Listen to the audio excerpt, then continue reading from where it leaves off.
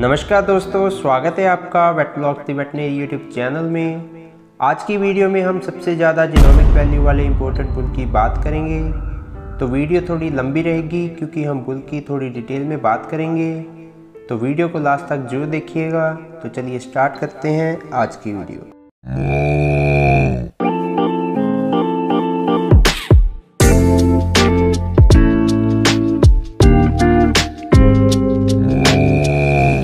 की डिटेल शुरू करने से पहले हम कुछ जनरल बात करेंगे, जिससे आपको डिटेल समझने में आसानी होगी। तो अक्सर देखा गया है कि most of the dairy farmers bull की डैम पर फोकस करते हैं। फार्मर ओनली डैम को देखकर बुल यूज़ कर लेता है। वो बुल के सभी ट्रेड्स को इग्नोर कर देता है, पर ये चीज़ कहीं ना कहीं पर फार्मर के डेयरी हट को इम्प्रूव होने नहीं देती। पर अगर हम फॉरेन या इंडिया के प्रोग्रेसिव डेयरी फार्मर्स की बात करें तो वो इस चीज़ को नहीं देखते। वो मेनली देखते हैं बुल के ओवरऑल वैल्यू को। तो सबसे पहली वैल्यू है टी वैल्यू जिसे हम टोटल परफॉर्मेंस इंडेक्स भी कहते हैं। ये वैल्यू यूएसए के बुल्स में यूज़ होती है। दूसरी है एलपीआई वैल्यू ये होती है लाइव परफॉर्मेंस इंडेक्स ये वैल्यू कनाडा के बुल्स में यूज़ होती है। एंड तीसरी है एनटीएम वैल्यू जिसे हम नॉर्डिक टोटल मेरिट कहते हैं। जो नॉर्डिक कंट्रीज़ यूज़ करती है जिसमें डेनमार्क स्वीडन एंड फिनलैंड ये तीन कंट्री आ जाती है। ये एनटीएम वैल्यू पर काम करती है तो तो टीपीआई को ऑलरेडी हमने बुल सिलेक्शन फार्मूला वाली वीडियो में कवर कर लिया था तो आप इस वीडियो को चैनल पर विज़िट करके चेक कर सकते हो। तो अब बात करेंगे एनटीएम की जिसे नॉर्डिक टोटल मेरिट कहा जाता है। एनटीएम बुल के production fertility and type traits को कंबाइन करके बनाया जाता है। ये वैल्यू जितनी हाई होगी, उतना ज़्यादा फार्मर को इकोनॉमिक बेनिफिट होगा। अगर आप हाई एनटीएम वाले बुल यूज़ करते हो तो वो आपको अच्छी क्वालिटी और अच्छे इकोनॉमिक वाली पॉजनी प्रोवाइड करेगा। एनटीएम वैल्यू एनिमल के प्रोडक्टिव लाइफ टाइम के एडिशनल वैल्यू को शो करता है। अगर किसी बुल की NTM value minus twenty to plus twenty हो तो ये तीनों कंट्रीज़ उस बुल को टॉप के हंड्रेड बुल में से एक मानती हैं। अगर किसी बुल की एन वैल्यू प्लस ट्वेंटी हो तो ये उस बुल को टॉप के तीन बुल में से एक मानते हैं। अगर किसी बुल का एन प्लस टेन हो तो उसकी डॉटर को अपनी मदर से 20 परसेंट बीमारी कम आएगी। मतलब जो बुल से आने वाला काफ है, उसको अपनी माँ से 20 परसेंट प्रॉब्लम कम आएगी। अगर किसी बुल का एनटीएम वैल्यू प्लस ट्वेंटी हो तो उसकी डॉटर को अपनी मदर से 40 परसेंट बीमारी कम आएगी। अगर किसी बुल का एनटीएम प्लस थर्टी हो तो उसकी डॉटर को अपनी मदर से 50 टू 60 परसेंट तक बीमारी कम आएगी। तो अब शुरू करते हैं बुल की डिटेल को। तो आज हम डेनमार्क के सबसे हाई जीनोमिक वैल्यू वाले बुल के बारे में बात करेंगे। तो बात की जाए बुल की बुल की आईडी है H F five double zero five three तो आपकी स्क्रीन पर बुल का सारा डाटा शो हो रहा है तो हम स्टेप बाय स्टेप सारी डिटेल को समझेंगे। बुल की डेट ऑफ़ बर्थ है तीस तीन दो हज़ार पंद्रह। ये बुल डेनमार्क कंट्री से इंपोर्ट किया गया है। देन नेक्स्ट है इस बुल का एनटीएम वो है प्लस थर्टी सेवन मतलब ये बुल टॉप के बुल में से एक बुल है। इस बुल के सभी ट्रेड्स अच्छे हैं और इसकी डॉटर काफ़ी अच्छा परफॉर्म करेगी सभी ट्रेड्स में। देन ये बुल की फ़ोटो है। देन इसके नीचे कुछ हाईलाइटेड पैरामीटर्स लिखे हैं, जो इस बुल की क्वालिटी को शो करते हैं। मतलब ये मतलब ये बुल मिल्क में इम्प्रूवमेंट देगा फैट और प्रोटीन को प्लस करेगा एंड ओवरऑल सभी ट्रेड्स में अच्छा होने की वजह से इस बुल को ऑलराउंडर का टैग दिया गया है। देन नीचे इसकी पेडिग्री डिटेल दी गई है। ये bull super shot Omen Omen and Dedrick का क्रॉस है। इस बुल की पेडिग्री बहुत ही अच्छी है, क्योंकि इसके पेरेंट चाहे वो पैटर्नल साइड से हो या मेटर्नल साइड से हो, सभी ही टॉप कैटेगरी में शामिल हैं। पेडिग्री डिटेल देखें तो कॉन्गन सुपर शॉट ये इसके सायर है। रोज सुपर क्लास ये इसकी दादी है। Seagull bay super sire ET ये इसका दादा है। कार्लेसडेल सुपरस्टिशन ईटी ये इसका परदादा है। देन इसके मेटर्नल डाटा की तरफ़ देखा जाए तो एंड्रिस्टेप मॉम कैरिन ये बुल की डैम है। और एंडरस्टेप डेड्रिक कैरिन ये बुल की नानी है। Long Lang Omen Omen ET ये बुल का नाना है। आर जी के डेड्रिक ये बुल का पड़नाना है। तो नेक्स्ट आ जाता है बुल का मेन डाटा जिसमें ये डाटा बुल के सायर का है। ये data estimated breeding value 2005 base की दी गई है। जैसे जैसे इस बुल की प्रोजनीस आती रहती है, वैसे वैसे ये वैल्यू चेंज होती रहती है और इसके साथ रिलायबिलिटी भी बढ़ती जाती है। ये वैल्यू बुल के बाप दादा, दादी और पड़नाना के एस्टिमेटेड ब्रीडिंग वैल्यू से निकाली जाती है। ये चीज़ फॉरेन में पॉसिबल है क्योंकि उनके पास advance technologies data and sources available रहते हैं। तो सबसे पहले नंबर पर है कॉन्गन सुपर शॉट जो इस बुल का शायर है, ये उसकी डिटेल है। बुल के शायर की मदर तेईस किलो मिल्क बढ़ाती है। एग्ज़ाम्पल अगर हमारे पास कोई काव है, जिसकी पी कील 20 किलो है तो उसके पूरे इलेक्ट्रेशन की एस्टिमेटेड मिल्क ईल्ड निकालें तो पीक मिल्क ईल्ड को 200 से मल्टीप्लाई करो। ये उसके पूरे इलेक्ट्रेशन की एस्टिमेटेड मिल्क ईल्ड निकल जाएगी।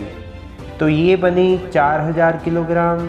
तो अगर इसमें तेईस किलोग्राम ऐड करेंगे तो आने वाली बचिया तिरसठ किलो दूध देगी। मतलब अपनी माँ से तेईस किलो दूध बढ़ जाएगा। मतलब डेली का 11 से 12 किलो पड़ जाएगा अपनी माँ से। देन नेक्स्ट है फैट तो इसकी फ़ैट देखें तो ये आपको किलोग्राम में दी गई है तो वो है 75 के जी तो अगर हमारी काव के पूरे इलेक्ट्रेशन की मिल्क 4000 किलोग्राम है एंड चार की फ़ैट है तो फ़ैट को केजी में निकालने के लिए मिल्क को फ़ैट से मल्टीप्लाई करो। एंड डिवाइड बाय हंड्रेड इससे आपके काव की फैट केजी में निकल आएगी। जैसे चार हज़ार मल्टीप्लाई बाई चार परसेंट डिवाइडेड बाय हंड्रेड ये बनती है 160 केजी ये 160 प्लस 75 केजी फुल की फैट से ऐड करेंगे तो आगे डॉटर की फैट 235 किलोग्राम बनेगी। मतलब आगे आने वाली डॉटर अपनी माँ से 0.4 टू 0.5 परसेंट फैट इम्प्रूव करेगी। आगे प्रोटीन दिया हुआ है, वो भी सेम ऐसे ही है, पर इंडिया में प्रोटीन नहीं देखा जाता तो इसे हम छोड़ भी सकते हैं। नेक्स्ट है इस शायर के टाइप ट्रेड्स या लीनियर ट्रेड्स तो यहाँ इसके स्टैंडर्ड ट्रांसमिटिंग एबिलिटी वैल्यू दी हुई है तो इसमें 100 वैल्यू को एवरेज या नॉर्मल कंसीडर करते हैं 100 से ऊपर वाला बोल के ट्रेड को पॉजिटिव कंसीडर करते हैं और हंड्रेड से नीचे वाले को नेगेटिव में कंसिडर करते हैं। तो अगर आप ट्रेड देख देख रहे हो तो हंड्रेड प्लस वैल्यू वाले बुल सेलेक्ट करें। तो बुल के सायर के लीनियर ट्रेड देखे जाएँ तो अडर फ्रेम दोनों ही पॉजिटिव में है और फीट एंड लेग्स का स्कोर थोड़ा एवरेज में है। नेक्स्ट डाटा है इस बुल की डैम मतलब मदर का। तो इसमें बुल की डैम की बेस्ट इलेक्ट्रेशन ईल्ड दी हुई है। बेस्ट इलेक्ट्रीशियन होती है दूसरी, तीसरी या चौथी इलेक्ट्रीशियन इसमें से बेस्ट कोई भी हो सकती है जिसमें काव ने अच्छा परफॉर्म किया होगा। तो बुल की डैम मिल्क ईल्ड है चौदह हज़ार तीन सौ उनचास के जी नेक्स्ट इसकी फ़ैट का data percentage and K G दोनों में दिया है। नेक्स्ट प्रोटीन है एंड आगे सेम एज इट इज़ जैसे मैंने आपको ऊपर बताया है। बात की जाए बुल की डैम के लीनियर ट्रेड्स की तो udder feet legs and frame सभी ही पॉजिटिव में है, जो कि एक प्लस पॉइंट है। अब आ जाता है बुल का मेन डाटा, जिस पर हमने ज़्यादा फोकस करना है। वो है जी ई बी वी मतलब जिनोमिक एस्टिमेटेड ब्रीडिंग वैल्यू जो कि इस बुल की है। अभी ये जिनोमिक एस्टिमेटेड वैल्यू कैसे निकाली गई है? जब ये बुल दो मंथ का होता है, तब इसका डीएनए लिया जाता है और उस डीएनए को बुल के सभी इंसेस्टर से मिलाया जाता है, जिसके साथ ज़्यादा करेक्टर मैच होते हैं तो उस बुल के सभी वैल्यू को उसके हिसाब से डिफ़ाइन कर देते हैं कि इस बुल की प्रोजनी ऐसी होगी। जीनोमिक टेस्टिंग सबसे एडवांस टेक्नोलॉजी है, इसकी रिलायबिलिटी 65 परसेंट होती है मतलब आगे आने वाली प्रोजनी 65 परसेंट इम्प्रूवमेंट देगी। एंड uh, आप 100 परसेंट श्योरिटी नहीं दे सकते कि ये 100 परसेंट इंक्रीज़ होगा। तो देखते हैं बुल के जिनोमिक डाटे को। तो इस बुल की जिनोमिक मिल्क ईल्ड छब्बीस के जी है। तो इसकी डॉटर 13 से 14 के जी पर डे में इम्प्रूवमेंट देगी। बट रिलायबिलिटी के हिसाब से देखा जाए तो पर डे 8 से 9 के जी मिल्क इम्प्रूव होगा। देन फैट एंड प्रोटीन दिए गए हैं केजीस में। देन नेक्स्ट है बुल के type traits frame leg and feet and udder सभी ट्रेड की S T A value positive में है, जो कि बुल का पॉजिटिव पॉइंट है। ये तो था बुल का खुद का, माँ का और बाप के प्रोडक्शन और टाइप ट्रेड्स का डाटा देन अब बात करते हैं बुल के हेल्थ एंड फर्टिलिटी के डाटे के बारे में। स्टार्ट करते हैं स्मेटिक सेल स्कोर से। तो इसकी वैल्यू है दो पॉइंट पचहत्तर। तो इसकी डॉटर को मस्टाइटिस नहीं आएगी। डीपीआर देखें तो प्लस दो पॉइंट तीन है। तो इस बुल की फर्टिलिटी बहुत ही अच्छी है, क्योंकि जितना ज़्यादा टी पॉजिटिव में होगा, उतना प्रेग्नेंट होने का रेट ज़्यादा होगा और काविंग के बाद जल्दी हीट में भी काव आएगी। देन है एच सी आर ये भी प्लस 0.8 है। बुल से आने वाली ही पर जल्दी प्रेगनेंट होगी। देन है सी सी आर ये भी प्लस 3.1 है। ये भी पॉजिटिव में है, ये भी अच्छा है। फर्टिलिटी इंडेक्स प्लस 2.2 है। इस बुल का फर्टिलिटी इंडेक्स बहुत ही अच्छा है। प्रोडक्टिव लाइफ प्लस 6.8 है। ये भी 6.8 डेज़ ज़्यादा प्रोडक्टिव रहेगी अपनी माँ के ओवरऑल लाइफ पीरियड से। फीडिंग एफिशिएंसी प्लस एक है। बीटा केजीन इसमें A one A two present है। अब बात करते हैं बुल के लीनियर ट्रेड्स की। जो फार्मर ओनली लीनियर ट्रेड पर फोकस कर रहे हैं, वो इस चार्ट को देख सकते हो। इस चार्ट को डिटेल में समझने के लिए बुल सिलेक्शन वाली वीडियो का पार्ट नंबर थ्री ज़रूर देखें, जिससे आपको सारे ट्रेड्स के बारे में डिटेल से पता लग सके। तो सबसे पहला लीनियर ट्रेड है स्टेचर जो कि शैलो से थोड़ा सा बड़ा होगा। नेक्स्ट है डेरी फॉर्म जो कि पॉजिटिव में है। एनिमल का रिब्स का गैप ज़्यादा होगा एंगुलर होगा एंड स्प्रिंग सभी ही उभरे हुए होंगे, जिससे एनिमल ज़्यादा दूध देगा। नेक्स्ट है स्ट्रेंथ वो भी पॉजिटिव में है और होनी भी चाहिए। नेक्स्ट है रंप विथ ये भी पॉजिटिव में है, ये भी ज़्यादा ब्रॉड होगी। Rump angle little bit positive में है तो इसकी डॉटर का रंप थोड़ा सा स्लाइटली डाउन स्लोप होगा। Leg side view and rear side view भी पॉजिटिव में है। फुट एंगल भी स्लाइटली पॉजिटिव में है and feet and leg score भी पॉजिटिव में है। तो इसके सभी ही स्कोर लेग्स के और फीट्स के भी अच्छे हैं। अडर की अटैचमेंट एंड पीछे से हाइट और अडर की ब्रॉडनेस काफ़ी अच्छी रहेगी। अडर क्लेफ्ट भी काफ़ी अच्छा रहेगा एंड अडर की डेप्थ नॉर्मल रहेगी। बात करें टीट्स की तो टीट्स का साइज़ थोड़ा सा बड़ा रहेगा नॉर्मल से एंड टीट्स की प्लेसमेंट काफ़ी अच्छी रहेगी। तो अब बात करते हैं इस बुल की प्रोजनीस की। तो आप five double zero five three की प्रोजनी अपनी स्क्रीन पर देख रहे हो।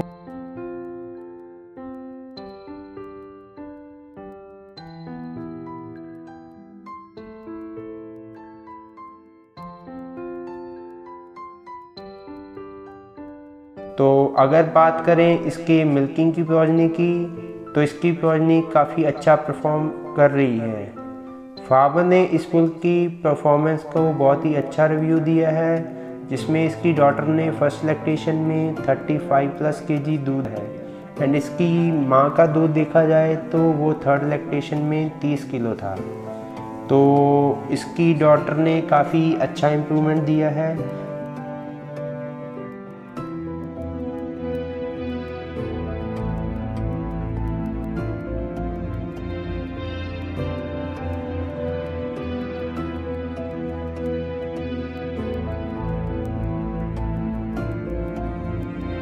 ये दूसरी प्रोजनी है जो 35 प्लस के जी मिल्क पर चल रही है। इसकी मदर का रिकॉर्ड 44 के जी था फिफ्थ लैक्टेशन में।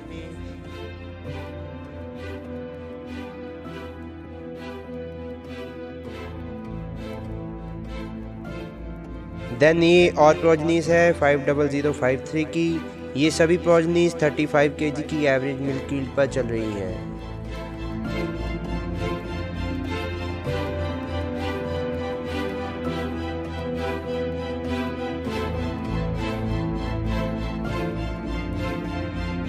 इस बुल की सभी प्रॉजनीज अच्छा परफॉर्मेंस दिखा रही हैं।